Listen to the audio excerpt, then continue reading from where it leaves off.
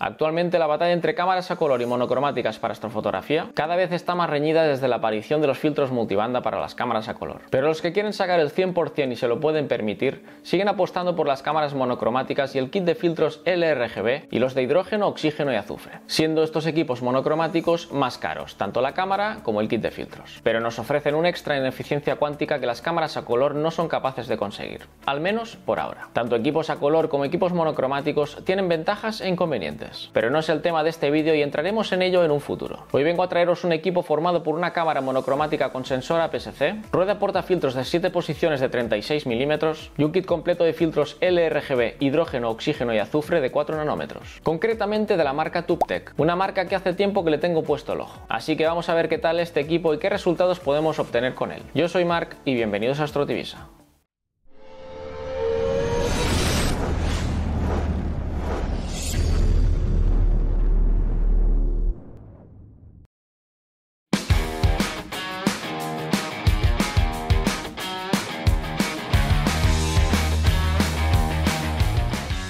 Para los que llevamos algún tiempo en esto de la astrofotografía, es de sobra conocido por su calidad y ser un estándar por su tamaño APS-C el sensor Sony IMX571, con su píxel de 3,76 micras, una eficiencia cuántica por encima del 90%, un full well de 51.000 electrones, tener un ruido de lectura muy bajo y ser cero amp glow. De hecho, es el mejor sensor que podemos comprarnos por debajo de tamaños full frame y el que todo que se inicia aspira a tener algún día. Básicamente tenemos las mismas características que encontramos en otras marcas a un precio menor, pues los impuestos y el envío están incluidos. Además, aparentemente la capacidad de refrigeración refrigeración de las TubTech son algo superiores, bajando en otras marcas hasta 35 grados de la temperatura ambiente a 42 grados como es esta TubTech.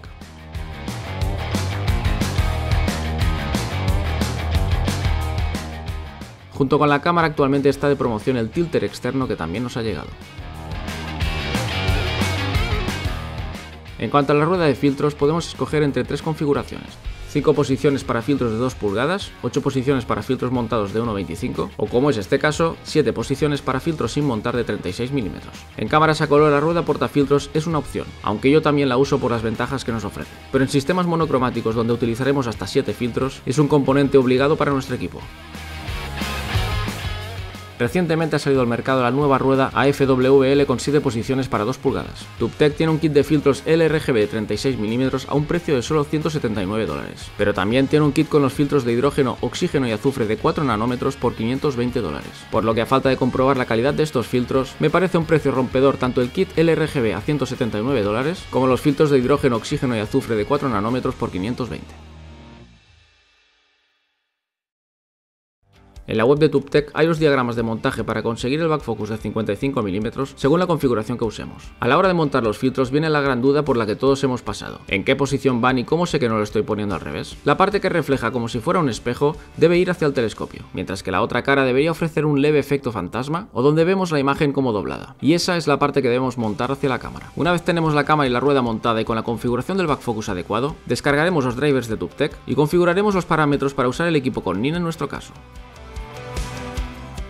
Cuando carguemos los drivers tendremos dos opciones, o los drivers ASCOM o los drivers nativos. En un primer momento descargué los drivers ASCOM y este es el aspecto que tenía en Nina, faltando muchas opciones como el calentador antirrocío.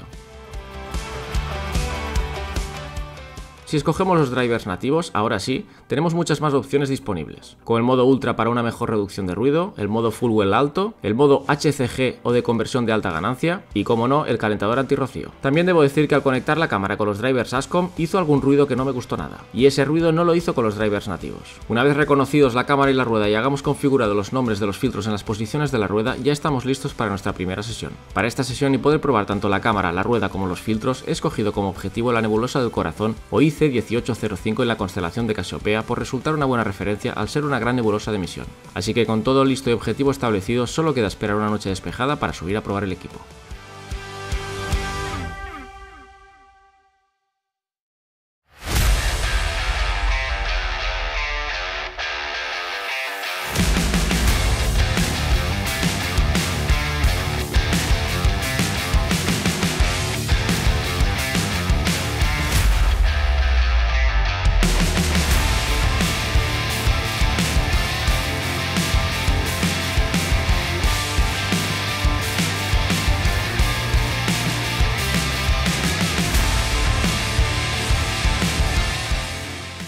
Equipo utilizado para la sesión es la montura AM5 de ZWO, enfocador electrónico EAF de ZWO, tubo y cámara guía ZWO ASI 662MC, refractor ASCAR FRA 500 con reductora f3.9, la cámara, rueda y filtros TubTech mencionados y todo controlado y gestionado mediante el Gaius S2 de la marca RB Focus.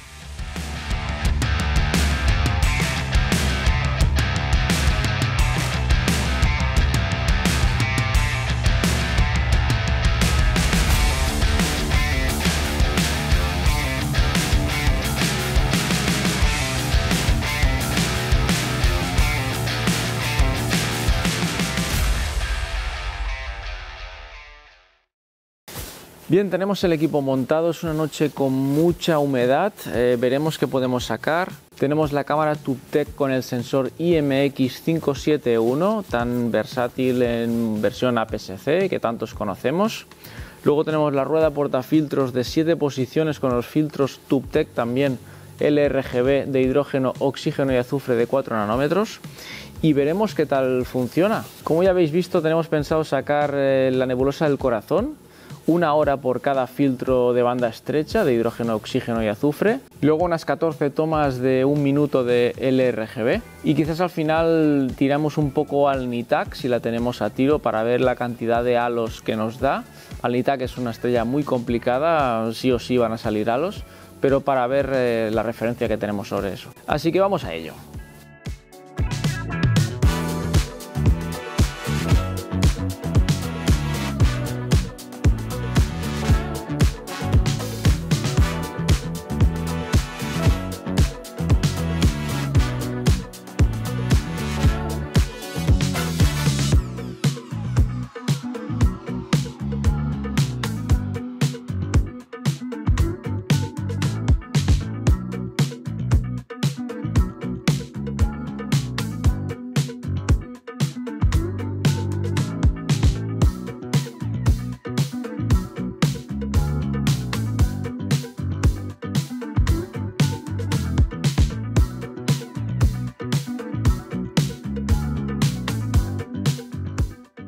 Vamos a realizar eh, los flats, os presento el panel de flats que me realizó Isaac, eh, tiene como una pequeña página en Wallapop, eh, Chisums creo que es 3D, os dejaré el enlace en la descripción del vídeo por si queréis pedirle que os haga un panel de flats, este se lo pedí específicamente para el, diámetro de apertura del FRA 500, para no tener que poner siempre un panel o algo así que queda muy suelto y tener que poner el tubo en vertical, así de esta manera esté en la posición que esté, lo puedo poner y se aguanta, se aguanta así. Y al tener eh, montura armónica, como no puedo aflojar los embragues para ponerla vertical, pero si la hacemos del diámetro que corresponde, donde haya acabado la sesión, no necesitamos poner el tubo en vertical, podemos acoplar esto y hacemos los flats. Así que voy a ver qué tal.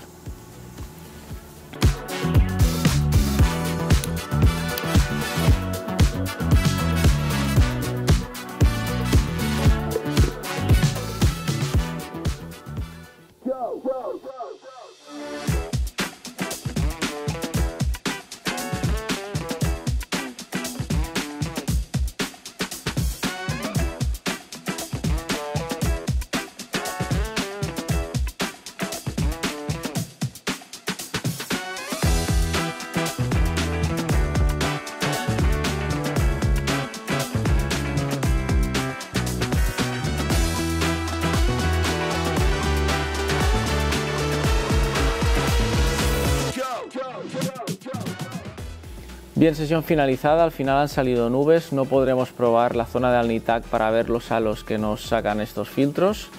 Hemos podido sacar todo lo que queríamos, es decir, mm, más de una hora o una hora para poder sacar la integración de una hora de los filtros de banda estrecha, de oxígeno, azufre y hidrógeno. Y luego las tomas que queríamos también del LRGB para poder ver las estrellas y espero no encontrar ningún halo porque la zona del corazón no es muy muy sensible en este aspecto de los halos. Pero bueno, habrá que, habrá que verlo. Así que nada, voy a desmontar y nos vemos en un momento abajo en el ordenador con los apilados y todo preparado para inspeccionar qué tal los resultados de la cámara. Hasta ahora. Bien, vamos a ver los resultados de la sesión. Recordemos que teníamos una luna al 97%. Aquí tenemos los archivos resultantes. Vamos a ver la luminancia. Como veis el apilado, bastantes gradientes, las estrellas bien, sea un patrón pero debe ser de, es de la lente, es, es alguna pinza de la lente. No me preocupa, no veo halos, son tomas de 60 segundos, el LRGB. Vamos a ver, el R, mismos gradientes, esto ya lo corregiremos después. Bien, el verde. No es una región muy susceptible, como ya he dicho, a los halos. Otro día voy a intentar ponerme con algunas estrellas ya bastante conocidas por dar mmm, unos halos considerables. A ver qué rendimiento tienen esos filtros con esas estrellas. Pero aparentemente, salvo el gradiente que tenemos natural por la luna, el rendimiento lo considero bastante bueno, muy bueno. Aquí tenemos la azul. Hidrógeno. ¿Veis la cantidad de hidrógeno? Mira toda la estructura. Las estrellas para mí bien. Oxígeno. Como digo, no aprecio halos. Sería el filtro quizás el más susceptible de tener halos. El de oxígeno. Y no hay halos. La señal se ve por aquí bien. La que cabría esperar y con una luna del 97%. Y la señal de azufre. Tampoco aprecio ningún halo. Las estrellas parecen bien, las estructuras muy bien. Me están sorprendiendo por el precio. Yo esperaba otra cosa. No esperaba este rendimiento. Luego aquí os puedo enseñar pues ya la toma como calibrada eh, con el Blur Exterminator pasado. Este es el rojo, el G, el B, el hidrógeno, el oxígeno. Habría algo más que corregir de algún viñeteado, aunque he hecho flats que con la luz de la luna no, no tenemos suficiente. Pues una vez pasado Blur Exterminator y sacadas las estrellas, pues aquí ya tendríamos la imagen estirada de hidrógeno, muy limpia, ruido bastante controlado, el oxígeno más débil, como cabría esperar, pero yo sigo pensando que por la cantidad de luna que teníamos, veis aquí aún se queda un gradiente, pero esto es una prueba, tampoco es un proyecto que quiera sacar una foto espectacular, así que lo voy a dejar así. Y el azufre, se ven también las estructuras, ahora aquí ya tenemos un poco más de ruido. Tengo ganas de compararlo con una cámara color, a ver qué tal la diferencia pero aparentemente un buen rendimiento, incluso como digo, con una luna al 97%. Así que este sería el resumen de los, de los filtros mm, y de la cámara. La sesión ha ido muy bien, la verdad es que con Nina se ha integrado perfectamente, no he tenido ningún problema. Recordad que TubTech también ha sacado ahora la rueda de 7 posiciones de 2 pulgadas con sus filtros LRGB de 2 pulgadas y los de hidrógeno, oxígeno y azufre, pero estos son de 6,5 nanómetros, si no recuerdo mal. Interrumpo este vídeo antes de la despedida para traeros una actualización sobre los resultados. Ayer subí a hacer una comparativa entre monocromática y color, eh, concretamente entre esta cámara monocromática con estos filtros y una cámara color también con sensor APS-C, y los gradientes ya no teniendo luna siguen apareciendo, incluso haciendo flats, con flats o sin flats hay ciertos gradientes que no terminan de corregirse. ¿Podría ser por los flats mal hechos? Como digo, sin, sin flat siguen produciéndose algunos pequeños gradientes que quedan ahí, un pequeño viñeteo. ¿Podría ser la influencia de utilizar una cámara infrarroja como estoy utilizando para controlar el telescopio? En mi opinión no, porque tanto los filtros eh, monocromáticos como los de color eh, llevan corte infrarrojo y del mismo modo que afectan a la monocromática deberían haber afectado a las tomas eh, en color. Y no fue así. Las tomas en color no tenían viñeteo. Como he hecho otra sesión, que también la he hecho precisamente para ver la comparativa a la zona del corazón, espero poder traeros pronto el vídeo, he podido sacar en un momento eh, la zona de Alnitak que tanto nos interesaba para comprobar los halos. Y ahora paso a enseñarosle en un momento. Esto es Alnitak, la zona de cabeza de caballo, en hidrógeno.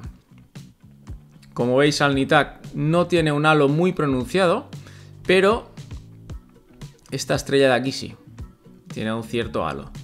Son 180 segundos con el filtro de hidrógeno. Como podéis apreciar, esta imagen está muy plana no he pasado flats, no, no, he ajustado con flats nada. Por lo tanto, los viñeteos o gradientes que se están produciendo en la zona del corazón me hace pensar que sea por alguna luz parásita que pueda tener o la misma contaminación lumínica del pueblo mismo, ya que estoy tirando encima del pueblo casi. Si vamos a seguir, esta es la hidrógeno como hemos dicho. Oxígeno, aquí tenemos unos halos muy pronunciados, tanto en Alnitak como la estrella de antes y esta secundaria. O sea, halos muy mejorables. En la azufre, bueno, aquí no tenemos halos. Luminancia, volvemos a tener halos aquí. Y en Alnitac, o sea, sigue ofreciendo halos en esta zona. Pero veis, mm, la imagen en sí está bastante plana. Sin utilizar flats. El rojo sin ningún halo, aparentemente. El verde. Pequeño halo que tenemos aquí. Aquí quizás también. Nada preocupante en principio, pero bueno. Tenemos los otros filtros como el de oxígeno más preocupantes. Y el que me ha, me ha estallado la cabeza es el, de, el, azul, donde ya tengo espicas de difracción y todo como si tuviera un Newton. Aparte de halos. Eso ya me parece más, más raro. Aquí tenemos también este halo marcado con unas espicas de difracción que no me las, no me las esperaba para nada y en el azul, así porque sí. Pero bueno, hay que tener en cuenta también que el sistema Petzval a veces se dice que puede ocasionar halos. Y los halos también dependen de la distancia que haya con el sensor del filtro. Dependen de varias cosas, no solo del, filtro en sí. Aunque eh, visto lo visto, estos filtros, pues bueno, podrían mejorarse. En la zona de Alnitak es muy crítica, ya sabemos, sabíamos que iban a salir halos sí o sí. Lo que quizás no me esperaba es que salieran también en estrellas secundarias, pero bueno, es algo que pues, nos hemos encontrado. Así como en la del corazón no ha salido ningún halo en ningún filtro, pues en Alnita, que es una zona, recuerdo, muy crítica, pues allí sí que se aprecian halos, pero es que se aprecian en este y en la mayoría de filtros que, le pongamos. Así que bueno, quería traeros esta actualización para poder hacer la, la, prueba un poco más completa, ya que nos quedaba por ver los halos que podían producir en zonas críticas.